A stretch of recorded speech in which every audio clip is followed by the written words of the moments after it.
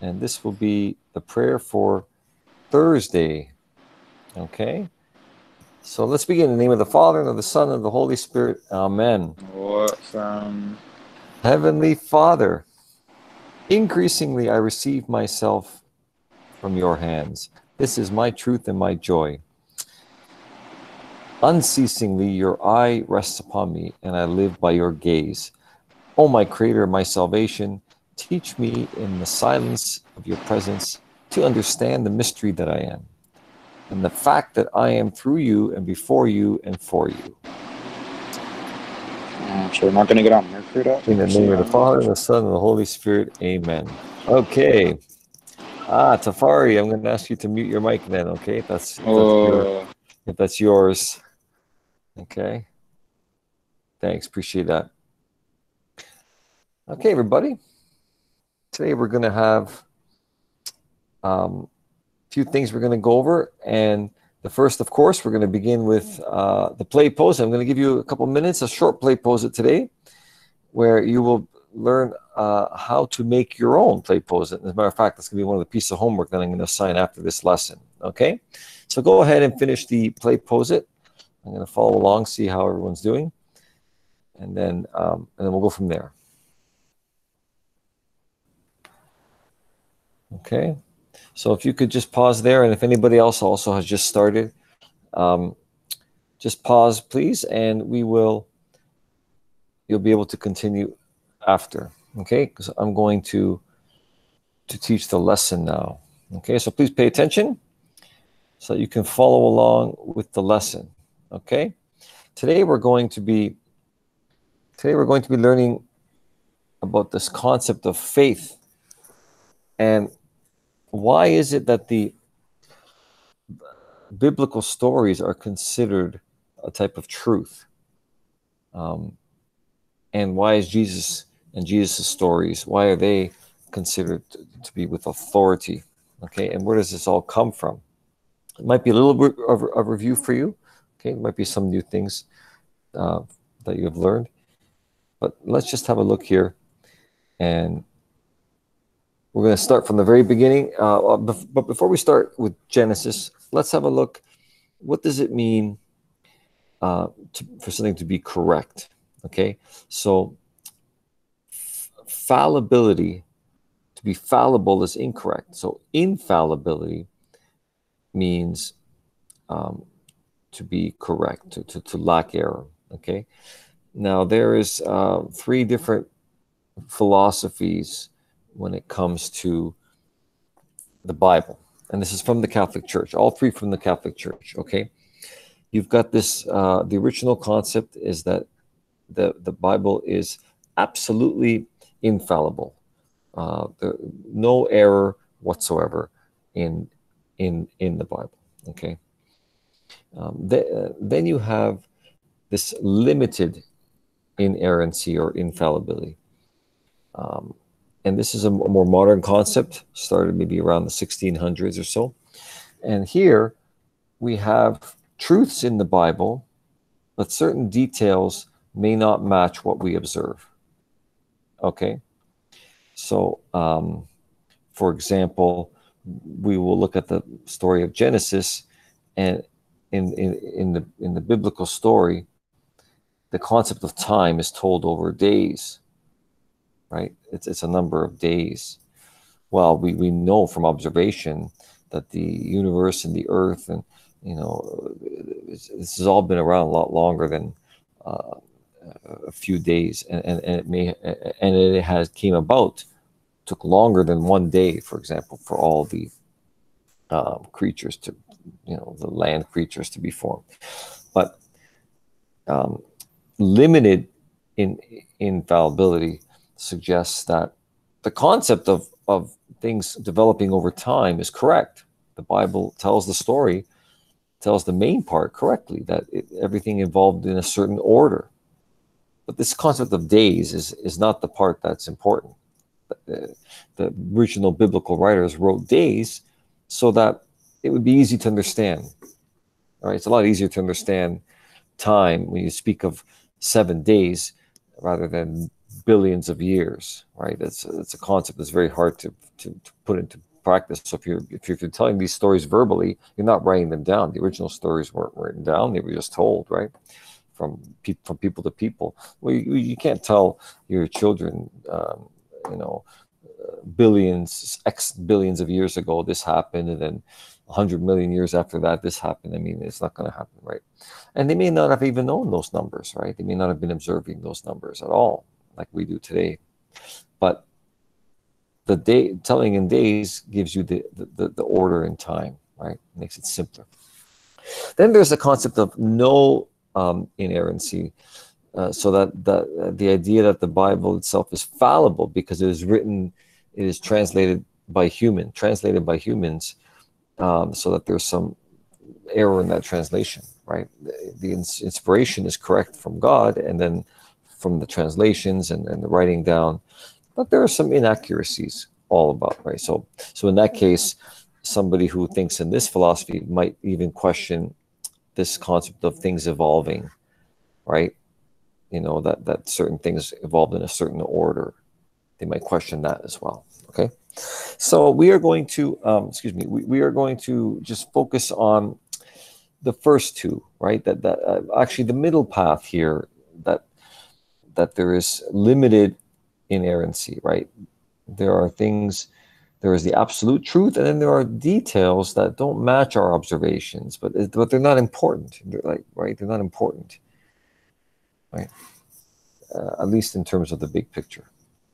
Okay, here's uh here's an interesting. I'm going to just play you a couple of seconds of this clip here. Okay, these are atheists traveling to the Museum of Creation. So, give me your thoughts on this place.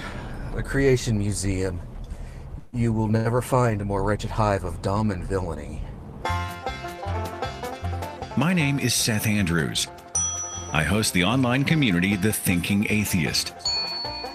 On October 5, 2012, I grabbed my camera and I joined a group of fellow atheists near Petersburg, Kentucky for my first ever tour of the Creation Museum. And as I documented the experience, I also wanted to get the opinions and perspectives of the other skeptics who had driven from across the region to take the tour with me. I'm going because uh, from the first time I heard about it, I thought it was uh, just something I had to go see to believe. For me, uh, I, was, I was never a believer, never raised up in it. So when I think exactly what they believe, young Earth creationists, it goes against all that I've come to learn and understand. Being from Kentucky, I had to see this. I mean, this is just typical Kentucky. They take the Bible totally literally and try and say, you know, if, if it doesn't agree with the Bible, then it must be wrong. So they, you know, the whole presuppositionalism. I'm going because I'm actually trained as a folklorist. At the same time, as a folklorist, I am a non-believer, and there are some belief systems that I just personally can't wrap my head around. As much as I try academically to understand, and this is an attempt to do so. What I find is very odd is that it's very close to Big Bone Lick, which is one of the largest fossil finds in North America. Okay, so the one lady made an interesting uh, comment. She said that um, this museum, that, that, that, and some people take the Bible very literally. Okay, and you know if it says this is this exact, you know, uh, it was a snake, it was a, a, a an apple, it was a, seven days. That, that's exactly how it was, right? Um, whereas the Catholic Church teaches a different type of um, truth, right? They teach a, a truth where all those things represent something. They're symbolic. Okay, they're not literally exactly the, how it was. That the people who wrote these stories, they were trying to tell the story of evolution. Okay, and not and, and original sin and the nature of humanity, our flawed nature. They, they, they weren't you know really trying to say that it was you know seven days that everything was created right? But this museum um, takes it literally. So if i'm going to post this um, for you guys if you want to watch it's quite funny episode we won't watch the whole thing now but it's it's really funny these atheists travel through the museum and make fun of and poke fun of some some um, some scenes you know uh, maybe I should show you. Uh, there's a couple, you know, um, talking about in the museum. There's like this girl playing with a dinosaur. Watching. That's right. In the Garden of Eden, dinosaurs apparently coexisted with human beings, like pets or companions, or even close friends. As okay, so if you take the Bible exactly literally word for word, you're going to end up with these kind of um, stories, okay? And, and things will just, and then the, the main idea will get lost. The more important part will get lost, okay? So what, what I'd like to look at right now is this concept of the, the, the creation story. I think this is an excellent example of the truth in the Bible and, and how the truth in the Bible is not um, different than the truth that we discover, okay, through through observation. You know, so let's take for example, how does science how does science describe how the universe began? Well, they have this theory. This is called the Big Bang theory, right? Where there was at the beginning there was nothing, right? There was this emptiness, and then through through gravitational structure. I don't know all the details, but they've modeled, they have models, right, where how this could have began, you know, black holes and whatnot. And then suddenly you had this contraction and then this big explosion. Okay. And that set everything in motion. They, they, they believe this because they see the universe is constantly expanding and growing, which means that if you go back in time, it must have, you could, it'll shrink, shrink, shrink down to the original nothing. Well, isn't that interesting? This story has been in the Bible almost exactly like that for thousands of years. Okay. Right now, I want to take a look at the um, story in the Bible of how things came to be. So we're looking at Genesis. Okay. Genesis chapter one, the beginning. All right. And I want you to, to as I'm going through this, I want you to focus on the order of events. Okay maybe jot yourself down on a piece of paper on your notes app or something. Uh, jot down the order of what I'm saying here. Okay, look at this. Here we go. This is this was written, you know, over four thousand years ago, by prophets inspired by God. Okay, in the beginning, God created the heaven and earth. The earth was formless and empty. Darkness was over the surface of the deep, and the Spirit of God was hovering. So we have this, this um, the key word is formless and empty. In other words, nothing, right? There's darkness, darkness. And the first thing that happens, God says, Let there be light, and there was light. In the Big Bang Theory, in the scientific explanation, there is indeed darkness at the beginning of the universe. And the very first thing that happens is an explosion, and the first things created is light, these stars, right? What we come to know as today as, as suns and energy, right? Light. It's very interesting that the, you know the scientists studying through these computer models and things come to a very similar story um, as we have in the Bible right at the beginning. Okay, so what else happens? Let's continue. God saw the light was good. He separated the light from the darkness. He called the light day, the darkness night. There was evening and morning, and this was the first day. Okay, so so this happens at the beginning, right? And there's a little bit of story in there about why there's darkness and light changes during the day and, and over time, every day. Um, again, more like a children's story, right? A nice, simple little children's story. Next, God said, "Let let there be um, separation between uh, the waters." So God made the vault and separated the water under the vault from the water above it, and it was so. God called the vault sky, and there was evening, there was morning, the second day. So in the second day, things start forming. Right, atmosphere, sky, right, water. Okay, um, this is, again, this is very similar to what, um, you know, the first thing scientists look for when they look for life on other planets, on the moon or on Mars, is they're looking for water, signs of water. Because wherever there's water, water comes first and then comes life, right? Because life depends on water and moisture. Okay. Next. Uh, so that so, so that was day two, right? We have the we have the water and the atmosphere. Day two, let the water under the sky be gathered into one place and let dry ground appear. And so it was called. The ground was called land and the water sea. And God saw that it was good. Okay, so now we're starting to form land. Okay. Also on this third day, let the land produce vegetation, seed bearing plants and trees on the land that bear fruit with seed in it, according to various kinds. And it was so. The land produced vegetation, plants, trees bearing fruit. Okay, God saw that it was good. There was evening, morning, and the third day. So another period of time. Remember, these aren't real days. The days could be millions of years, billions of years, but it's evolving, right? From the land, the first thing that happens is vegetation. Okay? An order. There's an order here. Let's move on to the next time period. Let there be lights in the sky to separate the day and night. Okay? And serve to signs as, as mark, to mark days and years. Again, more stars, more suns appearing, which you know the universe expands the universe grows more more and more of these um, sources of energy. And we see them we see them today in the sky right? I mean we're looking at history. These they're already you know so old by the time the light comes to us but it's constantly growing okay?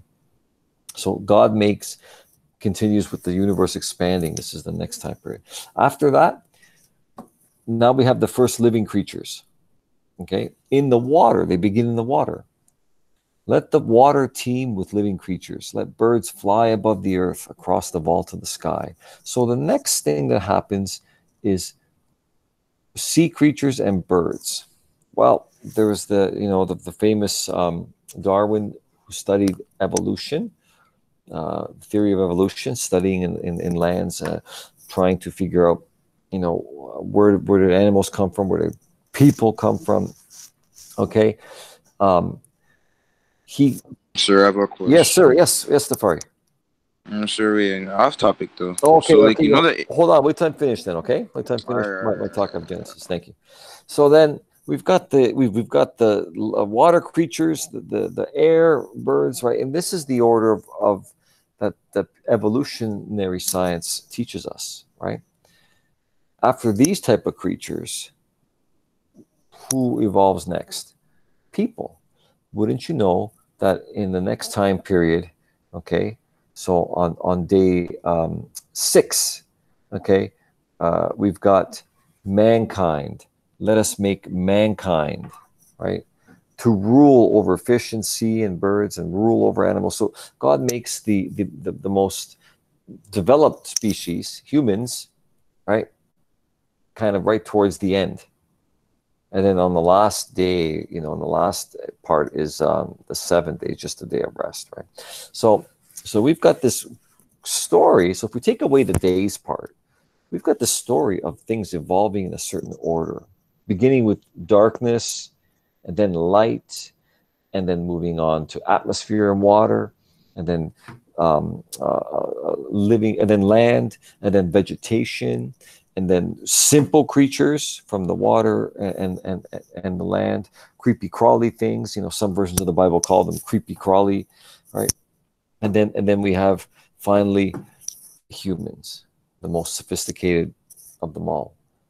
I mean, this is this is almost kind of word for word big bang slash evolution theory right? That only today we are learning from science. So so there's an excellent example of of biblical truth.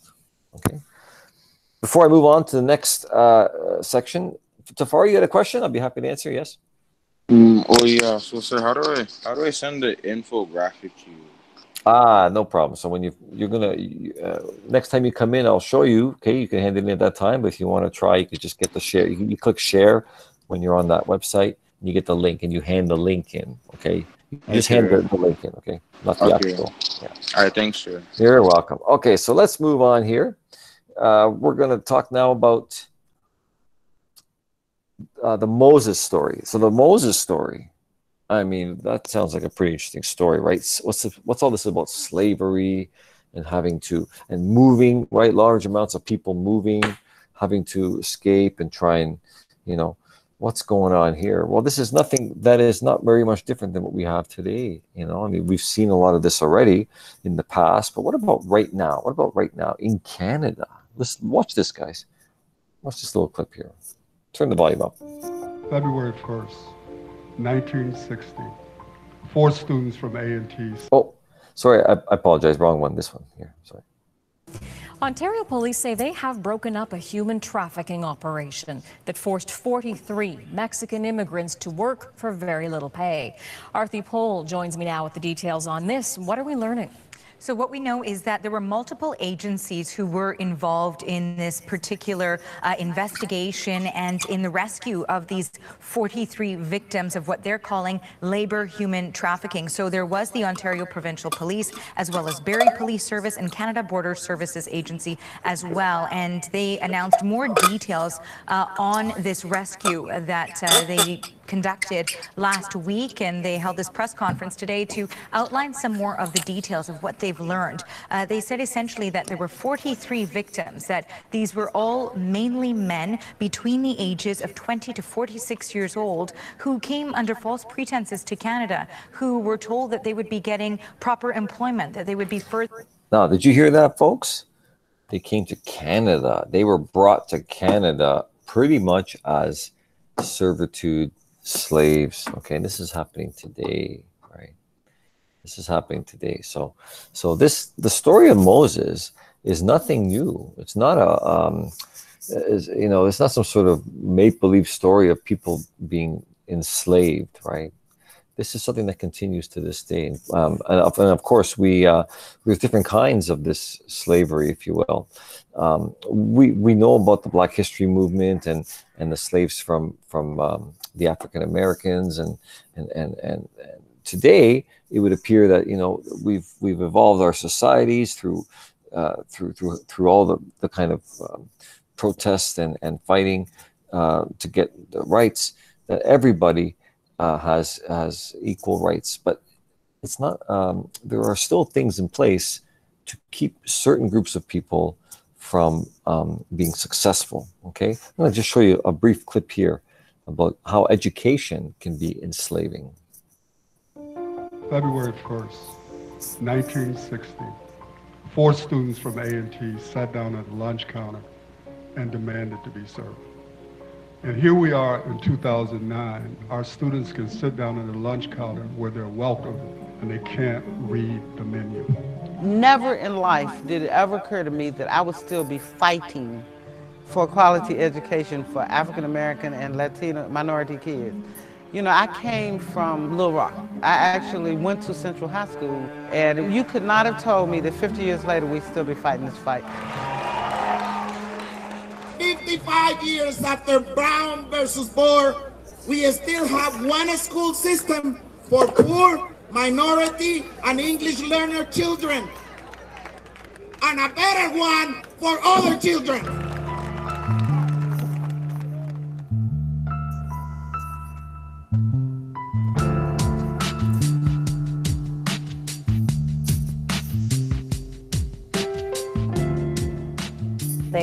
Passed from one grade to another, and they really didn't learn how to read. When they're coming out of school and they can't read and they can't do math, they can't get jobs. You know, we live in a knowledge economy. If kids are not prepared to compete in a knowledge economy, they're effectively doomed to second-class citizenship. We have over half of our children of color dropping out of high school our world standings in education are falling. What do we need to do to make sure that every child has a quality teacher and is in a quality school?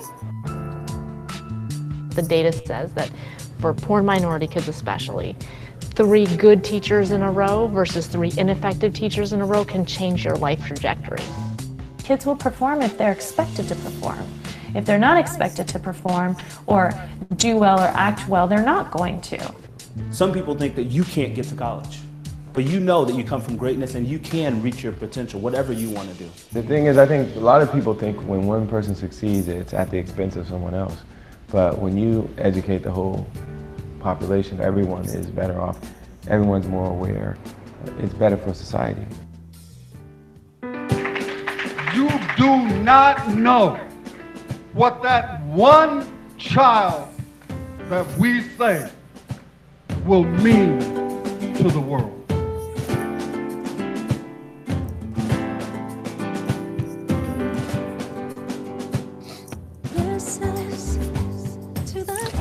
All right, folks. So you know, uh, there's a powerful, powerful reality today that um, we, slavery may not look like it did uh, a hundred years ago, but there are still things in place. Now we're fortunate here in Canada when it comes to education. We have we have a pretty standardized system all across the board, right? Doesn't matter which high school you go to, and you know you're kind of getting the same, or which college or, or which university. They're all kind of equally valuable, right? But it's not the case down in the states, and it, you know it seems to me that uh, things could change here too, just as easily. Okay, so uh, you know the story of Moses and and and the Jews being enslaved and treated uh, second class citizens and then having to sort of rise up and and fight their way you know somewhere and and and whatnot. This is a powerful story. It's not a, it's not an unusual story okay? I mean there's certainly something like that going on as well today. Um, and, and then uh, then we get to Jesus right we get to Jesus. What, what makes the story of Jesus, uh, what gives it authority, first of all, right? What makes it true? Okay, I want to um, start off, first of all, by going over the genealogy of Jesus. Okay, genealogy means family tree. So, do you know your family tree? You know your parents are. You probably know grandparents at some point, and then after that, what happens, right? Uh, can you draw out, you know, a long line of people. Well, it turns out that uh, two of the of the of the gospel writers, um, they did that right. They they and Matthew's Matthew's account's pretty specific. So let's have a look at this. I want to just show you quickly here. Okay, where did Jesus come from? And this is very uh, specific. I mean, this would not be this would not be easy to make up on the top of your head. All right, check it out.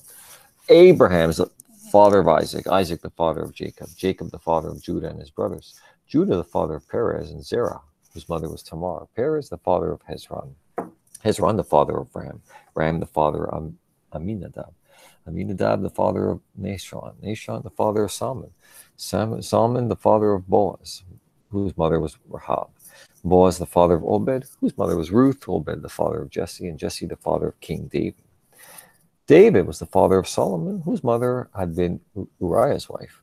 Solomon, the father of Rehoboam, Rehoboam, the father of Abijah, Abijah, the father of Asa, Asa, the father of Jehoshaphat, Jehoshaphat, the father of Je- Jehoram, Jehoram, the father of Uzziah, Uzziah, the father of Jotham, Jotham, the father of Ahaz, Ahaz, the father of Hezekiah, Hezekiah, the father of Manasseh, Manasseh, the father of Amon, Amon, the father of Josiah, Josiah, the father of Jeconiah and his brothers at the time of the exile of Babylon. After the exile to Babylon, Jeconiah was the father of Shealtiel, Shealtiel the father of Zerubbabel, Zerubbabel the father of Abihud, Abihud the father of Eliakim, Eliakim the father of Azor, Azor the father of Zadok, Zadok the father of Akim, Akim the father of Elihud, Elihud the father of Eleazar, Eleazar the father of Matthan, Matthan the father of Jacob, and Jacob, the father of Joseph, husband of Mary, and Mary was the mother of Jesus, who is called Messiah. My goodness, folks, if that's not a family tree in detail, I don't know what is. Okay, so um, and then these are all uh, separately recorded people, right? This isn't just like some sort of random list of names. This list goes back way, way before um, Matthew's writing this down. Okay, so this is very, very well kept lineage. Okay, they were very particular, especially with the Jewish family and the Jewish tradition, very particular in keeping a record of who comes from who. Right? So Jesus is the real thing. He comes from a particular line of people, all the way back to Abraham. You know, Abraham being the first of the holy fathers of the faith. Okay and that's the genealogy, right? So I really need to point that out. Now, next, we have um, two important types of stories that kind of give weight or authority to Jesus, and that is the, the miracles, right? The miracle stories, uh, which kind of prove Jesus' divinity. And then we have the parables, right? Parable stories, um, you know, powerful stories told to to to regular people so they could understand you know stories about farming and stories about relationship and, and, and whatnot. Um, but that teach very important lessons that to this day are considered true lessons right? Similar lessons you would hear from you know your parents or or adults in your life. Okay miracles and parables. All right? Uh, your PlayPosit that i'm assigning for you to create is going to be um, picking a miracle story or a parable story. And I'm giving you a list. Okay, I'm going to give you this list, and then you're going to make your your PlayPosit assignment. Um, and and and it will be shared with the class, right? One by one. So one by one, um, every day I will release one. Okay, I'm going to grade it first, and then I will release it. Okay, and they're going to be just in the order that they come in, kind of right. Okay, it's not going to be any particular order. Okay, so maybe uh, right now I'll show you that um, that form, and uh, the reason why I'm focusing on miracles and parables, I mean th those two types of stories really define uh, Jesus and and and give weight to his um, truthfulness, if you will, right? The, the, uh, because they're they're the miracles really just prove, you know, his right. But the but the parables to this day, people continue to to look at them and be like, wow, that is so correct. You know, that is especially the older people, right, with experience who've made mistakes and not followed some of those teachings, right? Uh, they will tell you. Okay, so I'm going to show you now um, what this looks like. Okay, just going to uh, switch the tab here for you. Okay, and what does it look like to, to make a play pose? So what I've done is, uh, of course, you know how to make one, but if you forget, um, here's a video of me, you know, the same one you did for, for, for this introduction.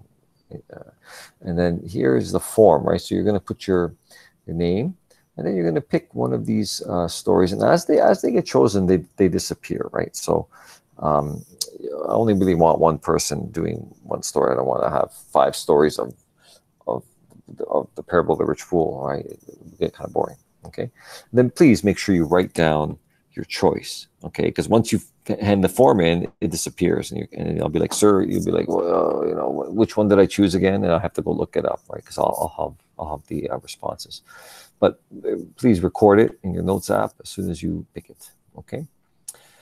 So I'm going to post this um, after our, after I finish speaking here. The other thing I want to highlight is um, your your third blog post assignment. So I'm going to be uh, assigning. So you got two things I'm assigning today. Um, my two smaller things. One is you're going to make a PlayPosit lesson. Okay. Hopefully we'll get. So some of you will finish tonight, so I can start releasing some tomorrow. Okay. Uh, it is due tomorrow. Uh, in, in, in, any case, uh, by the end of the day tomorrow. Okay, but. Um, so you, you know our, our kingdom we'll get right on that and then there is the third blog post okay so blog post number three and, and, and i want you to just review today's lesson by uh, posting your picture and paragraph uh, answering the, the questions how can biblical truth um, play a role in education today right how, how can the bible continue to be relevant as a textbook you know you know, why why do we even continue to look and study the Bible, right? When we have some other sources that we uh, consider to be truthful, okay? And uh, I've added to that. Why do you think religious truth, the, the stories in the Bible, why do you think they change so little compared to to other stories? You know, uh, you know, science, medicine, history, those things change all the time. Uh, textbooks get updated with, with, with different information. Um, this theory suddenly uh, proves this one wrong and, and whatnot. New things show us that what we believed even just a short while ago may have, you know. Um, but yeah, biblical truth hasn't changed at all, right? It's the same Bible. I mean, there's some differences in small details from translation to translation. Was it three? Was it was it a serpent, a snake, a rattlesnake? I don't know what, an apple, red color apple, green color apple, but that doesn't matter. But the basics, the basic part of the story stay stay the same. Certainly, the gospel stories haven't. No one's really kind of changed anything in those. Okay, in Jesus' stories. Why do you think that is? And and how can that? How can these stories still? Um, why is it that these stories can still play a role in teaching young people today? Okay, so that will be blog post number three, right? This will be a third blog post, and then you will have a chance to um, make your PlayPosit tonight. Okay, you're gonna have a chance to do that too. All right, so uh, once again, you're gonna uh, pick your story, and you're gonna find a video on that story. Okay, for the PlayPosit. Uh, I you know I I pretty much checked that there's there's there's YouTube videos on there's multiple YouTube videos on all those stories. You know I, I don't think I found one that was, and just make sure you find a decent one, right? Not not too long, you know, a half an hour story, right? But not too short, like you know, 30 seconds would be too short. So find a you know the, a, a decent version of the story or something about the story, and then uh, make your PlayPosit. Okay. All right. So there we go. Okay. At this point, um, I'm going to open up if, if, there's any questions uh, for for you at this point from you to um, to ask me uh, regarding the two assignments I've just given as homework. Okay. Just make sure that that's all I've got for today. Yes, yes, yes. We've covered quite a bit. Very good. Thank you very much for uh, joining me today in today's lesson. I hope you um, learned something, enjoyed something, and, and I look forward to seeing your blog posts and your, um, especially your play posted activities. Okay. All right. Take care and see you next time.